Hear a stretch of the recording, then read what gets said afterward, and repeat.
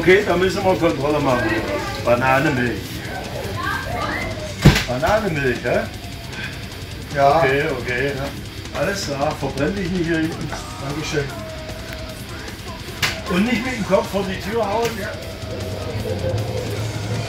Wie gesagt,